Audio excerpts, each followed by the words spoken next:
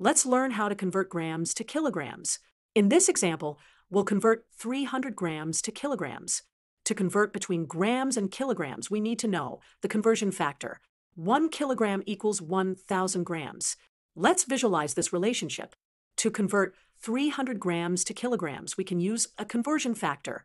We'll multiply 300 grams by the ratio of 1 kilogram to 1,000 grams.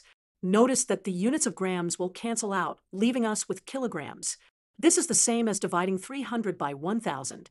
300 divided by 1,000 equals 0.3. Therefore, 300 grams equals 0.3 kilograms. Let's visualize what this means on our scale. 300 grams is less than 1 kilogram.